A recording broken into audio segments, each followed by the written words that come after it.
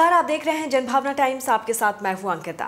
राजस्थान के उदयपुर में टेलर कन्हैया लाल की बेरहमी से हत्या कर दी गई। उदयपुर के मालदास इलाके में दो लोगों ने मिलकर पेशे से टेलर कन्हैया लाल का सिर काटकर उसके धड़ से अलग कर दिया।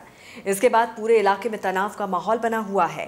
प्रशासन ने पूरे उदयपुर में धारा 144 लागू की है। हत्यारों ने घटना को अंजाम देने के बाद बकायदा वीडियो जारी कर हत्या की बात स्वीकार की।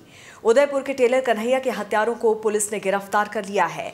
राजस्थान के उदयपुर में नुपुर शर्मा के समर्थन में सोशल मीडिया स्टेटस लगाने पर एक व्यक्ति की निर्मम हत्या से राजस्थान में तनाव फैल गया है। उदयपुर में टेलर कन्हैया लाल की बेरहमी से हत्या के बाद गिरफ़्तार किए गए लोगों की पहचान उदयपुर के सूरजपोल इलाके के निवासी गौस मोहम्मद, बेटे रफीक मोहम्मद और अब्दुल जब्बार के बेटे रियाज के रूप में की गई है।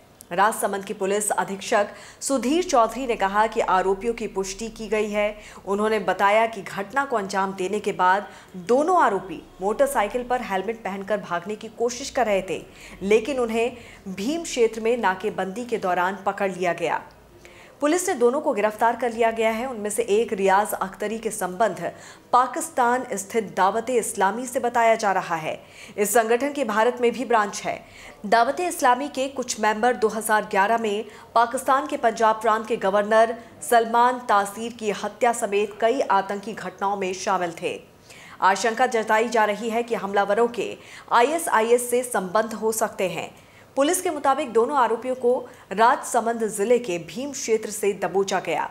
राजस्थान के उदयपुर में नुपुर शर्मा के समर्थन में सोशल मीडिया स्टेटस लगाने पर हमलावरों ने इस वारदात को अंजाम दिया था।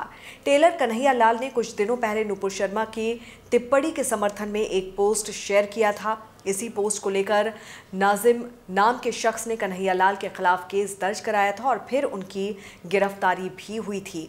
कोर्ट में पेशी के बाद कन्हैया लाल की बेल हो गई थी। परिजनों का आरोप है कि उसके बाद से लगातार कन्हैया लाल को धमकियाँ मिल रही थी, जिससे कन्हैया लाल काफ़ी परेशान थे और इसकी शिकायत भी उन्होंने पुलिस में की थी। और इसी डर से कई दिनों तक कन्हैया लाल ने अपनी दुकान भी नहीं खोली। प्रशासन ने कन्हैया लाल के परिवार को 31 लाख के मुआवजे और परिवार के दो सदस्यों को संविदा पर नौकरी दिए जाने की घोषणा की है। तो वहीं कन्हैया लाल की हत्या की जाँच के लिए गठित की गई एसआईटी की टीम भी उदयपुर पहुँच चुकी है। ये टीम यहाँ पर हत्याकांड से जुड़े तमाम पहलुओं की बारीकी से जाँच करेगी और उसके बाद एसआईटी अपनी रिपोर्ट राज्य सरकार को सौंपेगी। देश दुनिया की तमाम खबरों को विस्तार से जानने के लिए आप हमारी वेबसाइट www.thejpt.com को लॉगिन कर सकते हैं।